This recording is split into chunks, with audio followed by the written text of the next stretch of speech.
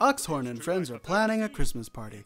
Thunk brings the turkey, Mr. Evil brings the eggnog when something happens.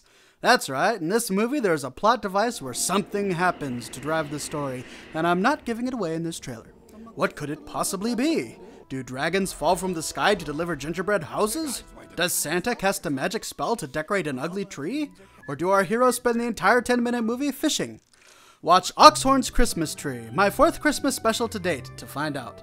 Now playing in high definition only at WeGame.com.